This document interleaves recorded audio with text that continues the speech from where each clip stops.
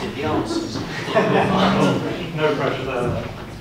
Um, so there we have it, really. Um, this is the nucleus of the issue with all works with great historic buildings throughout the country, because it's basically a tension between um, the, the artifact that the building is and the fact that it's built to be used by people. And Tobit has already touched on that. So is the Painted Hall a museum with a fabulous artifact within it? Or is it a, a living, intensively used space? And of course it's both, and that's the huge difficulty of the, uh, uh, the, the, the, issue that the Greenwich Foundation face. Um, the, the Foundation's vision statement uh, for the Old Royal Naval College states its priorities uh, to conserve and enhance the heritage of the site and to resolve the conflicts between the types of heritage, the differing types of heritage, to improve access, including for physical and sensitive uh, sensory impairment, and also to improve intellectual access and understanding. And how wonderful if everybody could, could have heard the presentations that we've already had this evening. That is incredible intellectual access that we've just had. Now it's worth mentioning that um, the Royal Naval College receives over 1.7 million visitors each year. 8,000 school children take part in, in workshops. There are over 60 weddings and 50 filmings and photography shoots within the Old Royal Naval College, and a great percentage of that focuses on the painted hall. Um, uh, and of course that's not even taking into account the many evening events of one sort or another, a lot of them involving a significant number of people and catering. So, uh, and it's not only those sorts of uh, events, um, no, that's the pointer, um, but it's, it's filmings we've mentioned, and this has to be the image, which I think is, is, is one of the most famous images. I mean, forget the paintings, but Johnny Depp in Pirates of the Caribbean filming in the Painted Hall. And it, this is the point, because actually film setups uh, and filming and, and uh, D-rigs are very, very physical things. And so there's an awful lot of physicality to what goes on in the Painted Hall, not least um, catered events, and I do recall from the conservation of the, um, the, the west wall painting in the upper hall, one, one of the processes was removing vestiges of food uh, thrown, thrown up the wall. And so it's that sort of impact that one is dealing with, because of course the, the, the building and the painted hall was built as a dining hall, actually. Um, uh, it happened to be a very fabulous uh, dining hall, and it was never ever really properly used as a dining hall until, until uh, very, very late in its history.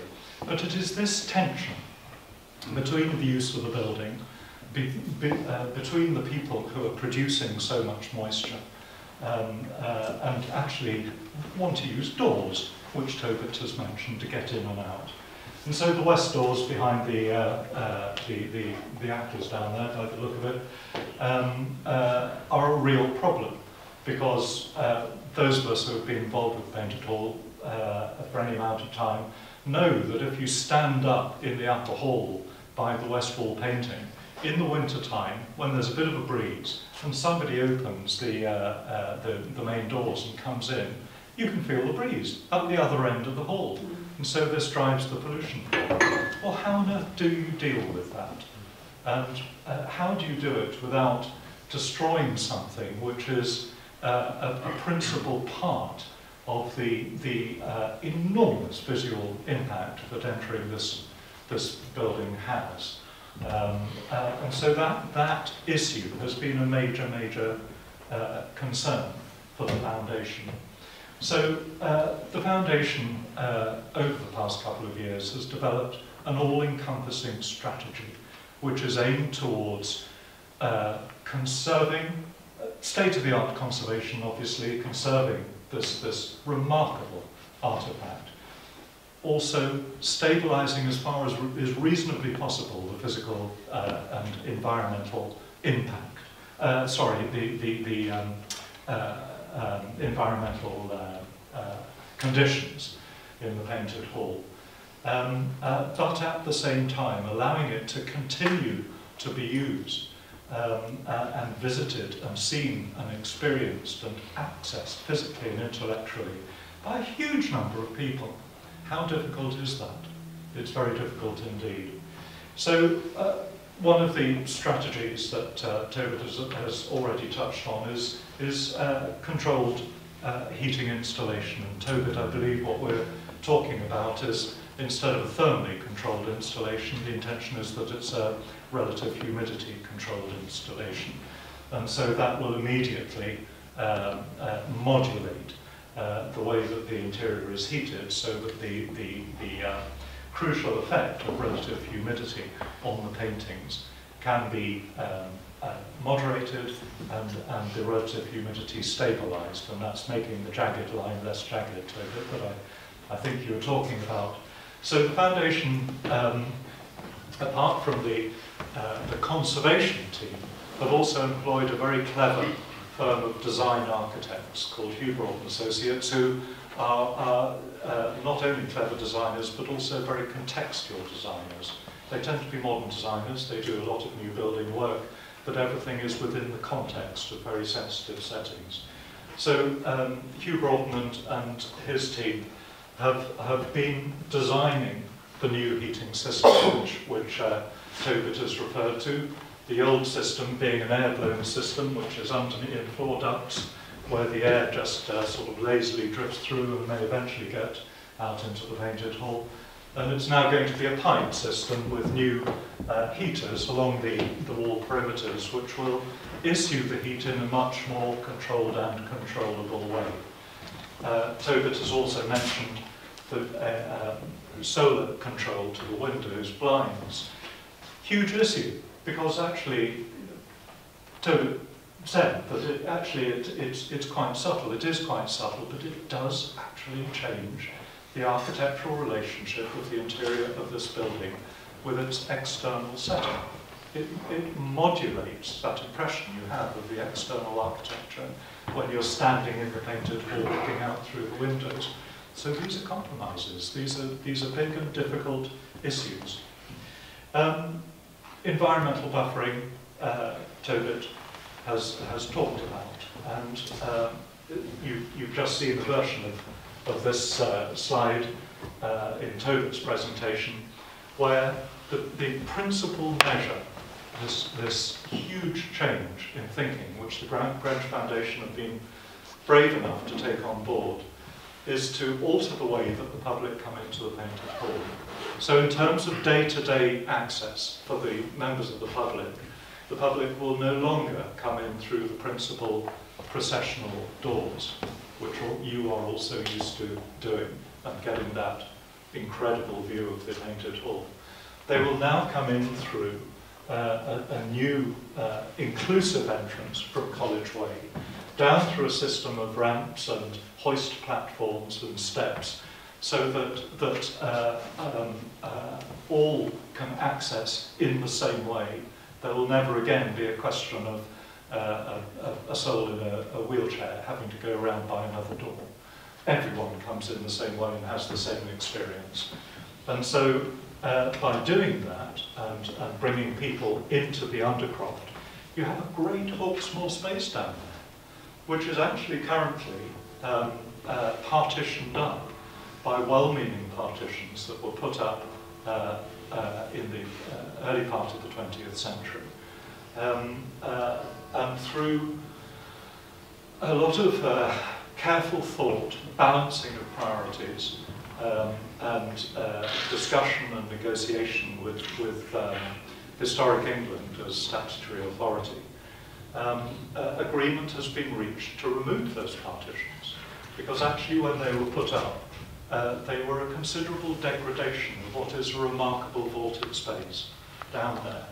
And so part and parcel of this proposal is to uh, bring back uh, the, the Hawksmoor vaulted undercroft as part of the architectural experience, as a precursor, having moved through as a visitor and got your uh, interpretation, your, your, your information packs, uh, you then move up to the painted hall, up the flanking staircases, and you turn and you then get the powerful view.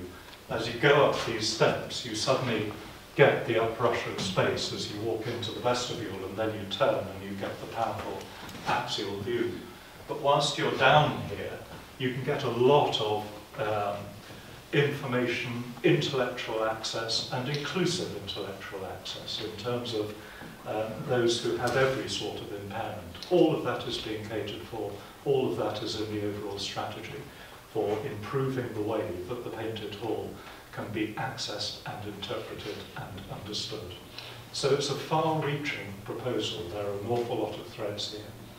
Part of it, Tobit again has referred to, you've not only got buffering of doors and, and um, uh, significant spaces to be walked through, but you also have a, a new screen up at this end here, so there, which is in place of one of the um, uh, plasterboard partitions which are, which are currently there. So here is Hugh Broughton Architects' uh, visual impression of how the Undercroft might look as part of the visitor experience. And you're walking through, there can be display of interpretive material, um, uh, uh, information can come across in, in many different ways. The screen is being designed uh, by, um, uh, in conjunction with a specialist Italian company in order to get a finesse of glazing bar, a beautiful, fine, beautifully crafted detail which will speak the same language as Hawksmoor's windows, um, the, the iron paramenta in the windows. So there's that level of thought going on as well. Um, we've talked about inclusive access, hoist platforms and so on, and dedicated uh, presentation material, because this, although Discover Greenwich will continue to be the, the first uh, point of arrival on this site, the link between Discover Greenwich and the Painted Hall is going to be engineered to be far stronger.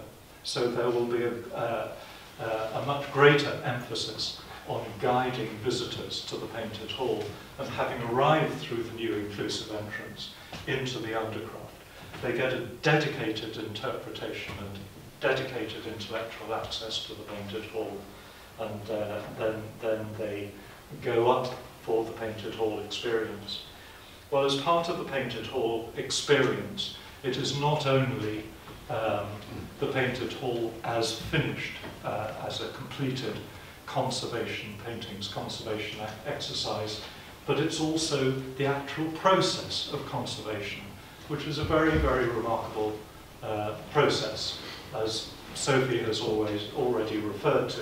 The paintings conservator uh, will be working up on a platform uh, across the entirety of the, the painted hall ceiling. Um, uh, it's a very large space up there. Uh, you could play football up there. Um, and the decision has been taken, as with the conservation of the upper hall paintings, um, the uh, Sophie showed a slide of a scaffolding up there, which had a, a conservator deck, um, and uh, during that time, there was, I think, a thousand uh, members of the public visited the conservation in progress. And I'm sure that some of you went up, and it was a very, very remarkable experience being up close and personal with the paintings and talking to the conservators uh, about the work that was being carried out. Well, if you think of 1,000 for the upper hall, so it's the um, Foundation's proposal now to have a remarkable number of people up. I think 50,000 is the target, visiting members of the public, actually visiting the conservation of the paintings in progress. And for that purpose, the scaffolding has been designed with not one but two beautiful staircases, one either end, which is kind of useful for means of escape should the fire alarms go off. Um, but not only that, and I think unfortunately it's not shown on the drawing, but it is going to have its own hoist access platform, which is useful in order for the conservators to get kit and caboodle up to the conservation deck, um, but is also wonderful for anybody with any sort of uh, physical impairment uh, to get up to the conservation deck. So when you think in terms of the currently 8,000 school children who have workshops uh, at the Old Royal Naval College, how fantastic for, for um, schools to bring classes of children uh, to, to, to be part of this amazing conservation program. So all of that is in the thinking, all of that is in the foundations, all encompassing strategy. Uh, uh, lastly, um, uh, uh, the, the thinking involves altering the flexibility of use of the painted hall in terms of catering, for example, different styles of catering and different styles of uh, events are being planned for. Um, a new uh, means of escape, fire escape, has already been built out to King William Courtyard so that the numbers of people um, catered for in the painted hall uh, can be uh, uh, maintained. And I think the number currently is 440, isn't it? That's the, in, in terms of fire escape that the painted hall can accommodate. That's really important because, because uh, depressingly, income stream is really important in terms of sustainability of heritage.